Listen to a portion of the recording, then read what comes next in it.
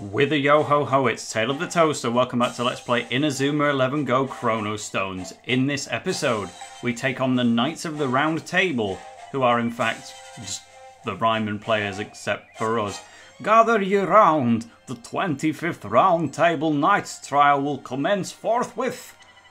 I'll have to fight with my please, Arion. You better pick the lineup. Not that there's a great deal of picking to do, you just want to have all the duplies in. You can't even pull in optional team members like Trump Dealer or anyone similar to that. You have a lock lineup. You can move people around. Say, for example, this got this guy's got the Typhoon, so you could make him a forward if you really wanted to. But um, yeah, just gonna stick with the default.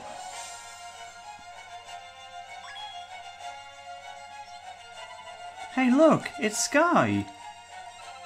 Oh, Skye gets to be Princess Elaine! Arion! Yes? We've got to play this game for real. If we fake it, King Arthur will smell it a mile off. Got it. No holding back. Let's do this, guys. We have to do whatever it takes to pass this test.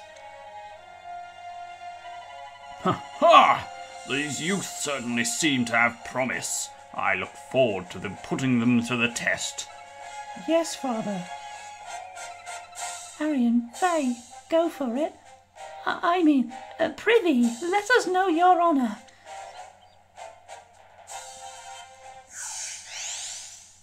And that we will, so I've made a bit of a mistake, because as you know I like to keep the team levels fairly balanced for purposes as a walkthrough, and I have utterly failed to do so here.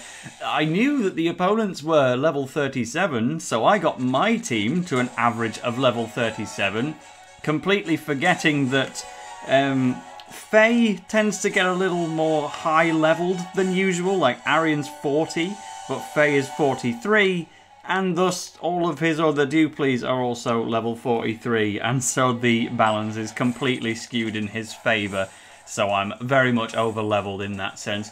Um, not too keen on this formation, Knights of the Round Table. You're not making very good use of Bailong there.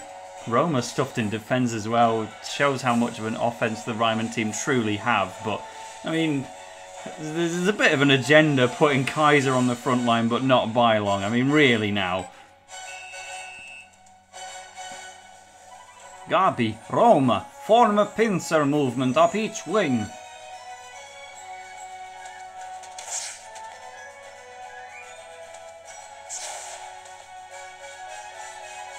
Goldie, now, attack from the front.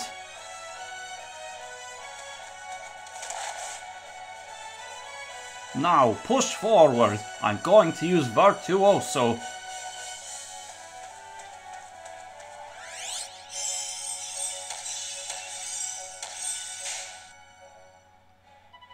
Riccardo's amazing. He can survey the whole pitch with a single glance. How do you even get to be like that? Well, how do you get the option to block this potential shot coming in? They are bringing out a fighting spirit on Victor, and we do not have JP or indeed any real spirit summoner in goal. So the only way you could possibly stop him from scoring right now is to use some kind of special tactic to block him before he gets there, but it's a bit simpler to just, um, you know, let him go for it. I mean, I'll use Breathtaker, I'll try to stop it, if anything, just to see what the failure animation looks like. But yeah, so that's technically not a guaranteed goal, but you would have to go well out of your way to stop it. We're better off. Where were you looking? Yeah, we're better off just getting two goals instead. What's wrong, you two? You aren't going to pass this test if you carry on playing like that. You guys are good, but we can do it. Everyone, time for the big push. Um, yeah. So that we will, of course, when Victor was bringing out his fighting spirit, I went and brought out Fei's as well, because we only got it in the last chapter, and when he did that, he not only mixy maxed with Big, but he also armor-fied immediately. So we haven't really had a chance to see Sir Rabby in action yet. you know, Goldie says it more than Fei does in that chapter, so I have to hear it in a Scottish accent. But um, yeah, so JP is going to bring out his own and actually make it challenging for us. But we armor fight so quickly, I want to see what the shot of Sir Rabby itself looks like. Well, if you're just going to come to a standstill, Fei, then that's not going to help. Get out of the way, Saw. Why are you still here? Let me go for a shot. So at a whopping cost of 85 FSP, you can go for Full Moon Fever. So Sir Rabby will be retiring soon. It's not going to last much longer, but that is a powerful shot and puts JP in some real danger. Oh, he nearly stopped that with a raw catch, actually. Had he used a special move, then, um, yeah, that would have been blocked. But, um, I'll avoid using Arion's Fighting Spirit as best we can. Fei's is going to disappear pretty soon. We'll see if we can get a goal with a Duplies, eh? But yeah, it's it's nice to see Sir Rabby in action after all this time because it was a bit weird that Fei didn't have a fighting spirit despite football being his life and all that. And now, yeah, we learn the reasons. He's had a fighting spirit the entire time. He just doesn't like it. Sure enough, in, in the anime, when he brings it out and then armor fights, he says, by the way, I hate you, pretty much. Words to that effect, and then just uses it anyway because he has to. But, um, he never quite says the same effect here in the game, but, well, there's a reason he kept it repressed. It reminds him of his abandonment as a kid, and yeah, fair enough. But now Sir Rabby is out of play, and Fei is a real asset. He's got the full treatment as a player now, instead of just being plot relevant, dead weight ish. Um, you know what, Creepy? I don't think you've really got a chance against a defender like Gabby. We do actually need a second goal to win this at all. To say that we're very over leveled by the numbers, we're still at a bit of a disadvantage, all things considered. Again, bringing out a fighting spirit with Arion would completely change the pace, but I'm going to see if I can avoid that as much as I can. kind of confusing seeing all these players in the Raimon kit that you can't control. The it, it really is determined to make me... Ah, oh, fine. Well, no, I regret it already. Why did I click that? I don't need to do this, but well, I have done anyway, because Maestro is coming out. Riccardo um, certainly showing his tenacity as a captain. And it's good to see that again because, you know, certainly what went through my mind when we were going into Chronostones, especially around this time, was like, well, yeah, why is Arion still the captain? He only became the captain because Riccardo couldn't be at the final in the last match. Shouldn't he take that title back? It was never really explained that it was, you know, wanted to stay with Arion, or at least not in great detail, but, I mean, they, they clearly must have. Riccardo has not taken up the title of captain, he's just being a bit of a dude hanging on in the tactics role in the back seat. And it, it works, but Arion's showing a lot of self-confidence issues about it lately. It's also worth mentioning, Arion is one of the only players to now not have a story-relevant Miximax. Bet you were wishing he could still Miximax with Tezcat around this time of day. I know that I do.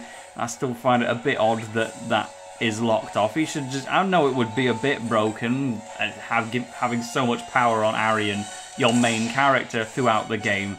But, like, we're not exactly in short supply of ways to break the game and make it really easy if you're determined to do so. Case in point, you know, I could Armify and Miximax Fei and absolutely wipe the floor with these guys instead of using it on a full moon blast or whatever it was called. But, um, oh, I was about to pass him there, but he's actually offside, so for the time being, we just keep wearing down JP's FSP, and then eventually we might get a goal in the second half. Wouldn't that be nice? Maybe try the Typhoon. I'll tell you what, he used almost half of his gauge just for that regular catch. JP, that wasn't worth it at all. Here we go. Would have had another chance if Gabby didn't trip us up. So anyway, yes, this is um I think we get the point. We are playing against Raimon. It's kind of cool because they're not holding back at all. They're bringing out spirits. They're using all of their special moves and just using their generally higher stats than that of the Duplies to carry the day. And it's only, oh, thanks to our two key players that were really able to make a big impact in that sense, especially if they're going for Virtuoso. I'll tell you what, I will do Tortoise Shell pattern to just get possession of the ball while Fei's nearby in the goal. Um, yeah, we, we do need to win, otherwise we don't get to join the very knights of the round table that we're about to defeat in a football match. But um, it is a nice little opportunity to just unwind and think about how the game is panning out as a whole for a little bit because we are somewhat reaching the later stages now. Well, we, we are in the later stages. You know, it can the pacing can always be a bit hard to keep track of because when you do the chapter with Nobunaga and going back to ancient Japan, it feels like the game's only just starting. You have to remind yourself that actually that's closer to the halfway mark. Why can't I be as good as Riccardo? Raimon are tough opponents to play against, but we need to pass the test. Show some spirit for the Sherwins. wins. Hmm. Yeah, you're right. Fei, Arion, we're counting on you. Yeah, I'm putting myself in more danger than I need to. It's alright, Arion's finally going to take possession of the ball and show us what he's made of again. Yeah, again, it's a nice opportunity to reflect on the fact we're clo closing in on the later parts of the game and we've almost got a full kind of Ultimate 11 going on here. I, if I'm not mistaken, the amount of story required mixy maxes we've had is now about 8. So, yeah, pr pretty healthy amount. Only that leaves about three spaces left to go. Um, but it also gives you a little bit of a moment to think about who is not going to get one, therefore, by default.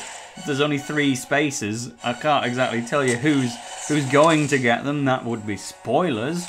But there are definitely some notable exceptions who do not get uh, Miximaxes, and most would blame Saw for that, because he's been in the team for less than a full chapter and has barely even played football in that time, but already he gets to be part of our Ultimate 11 squad and one of the story required Miximaxes.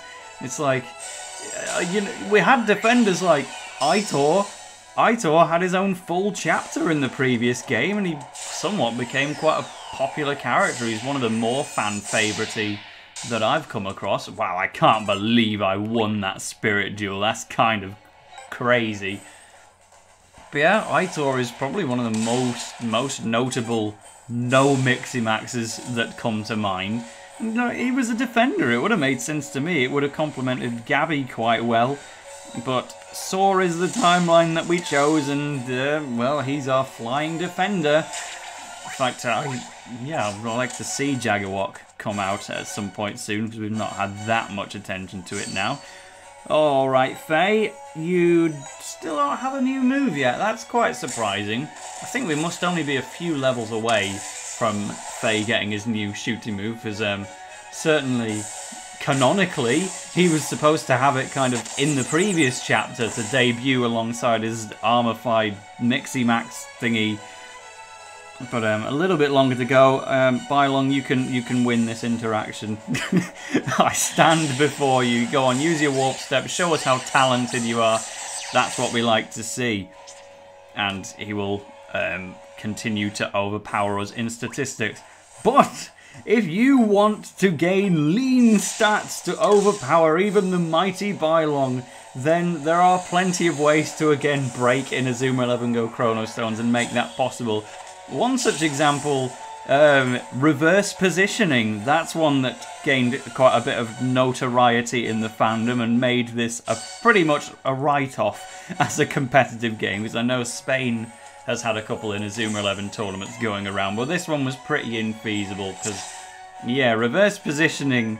I don't know the ins and outs. I can't say I've done it for myself, but um, essentially you can kind of use the training spots around the world to completely max out one stat to the point where it's even reducing your other stats in the process. And then, uh, I think through the power of Miximax, you can then swap the stats around to your will and uh, use whatever position suits. And, well, the name reverse positioning comes from the fact, okay, you want Bailong to be a defender, right? He's He's got a very high kick kickstart, and you can make it even higher. His defense not too good, but um, if you were to completely max out his kick and then transfer that over to the to the defense, then Yeah, I'm sure the comment section can do a better job of explaining reverse positioning than I can, but needless to say, it is not something I intend to take advantage of.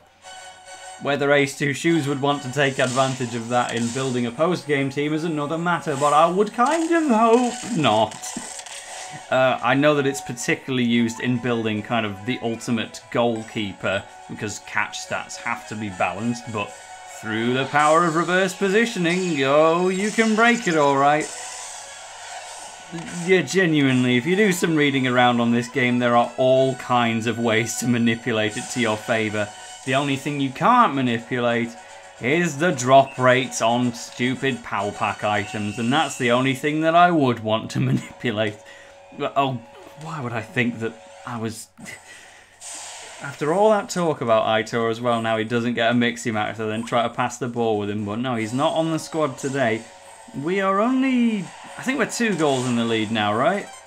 Yes, we are, so the danger is somewhat passed by kind of thinking of, a contingency. What happens if they actually get past us here? I haven't planned this far ahead. But yeah, well, Roma's going to get the ball moving on it. They're bringing out another fighting spirit, and I don't even have an option to bring out whether I wanted to or not. Here comes Musashi indeed. That's a spirit that I haven't used a great deal since Roma learned out of Armor Fire. I think he pretty much learned that in his chapter in Kyoto, and then I haven't used it since. I haven't used Roma a great deal in general. Maybe I need to make some changes on that. For the time being, my tortoise shell pattern cannot be used twice. I do not have the TTP. So they're using Virtuoso when they were already pretty much in front of the goal, and essentially They've moved my players closer to them and helped me take the ball off them.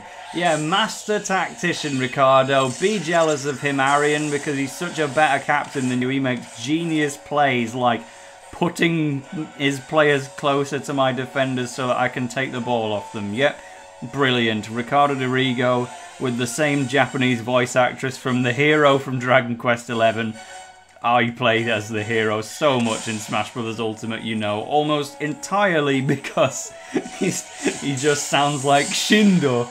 I definitely picked the default costume out of the four because I knew long before I'd even googled it, that voice sounds familiar. And yep, it was. Shindo's voice actress from the anime is now in Smash Brothers as the hero. I absolutely love it. It's not exactly recent news I'm bringing up here. You know, Hero's been in the game for months now. I just hadn't actually done the Google to verify, yes, it is Riccardo's Japanese voice actress. But there we go, we got that confirmation. And we've also got the confirmation that we have defeated the Knights of the Round Table 3-1 by abusing fighting spirits, as you do. Well, if I didn't, I'm not sure I would have won, in fairness. Could have tried taking them to penalties. Imagine taking these guys to penalties.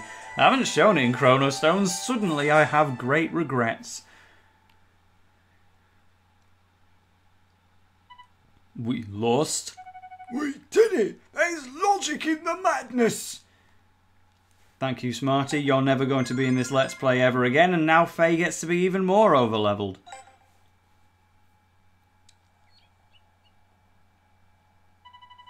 Cease the trial! I have seen everything I need to make my judgment. What is it to be, your majesty? You have shown ample spirit. Welcome to the round table. We did it, Arion. We're knights of the round table. Yeah. Victory is not the only way to discern who is worthy. The true knight is one who keeps going forward, even in the face of defeat. King Arthur was watching us really closely. Well done, you two. I think we've taken the story to the end, right? Hark! A grim alarum!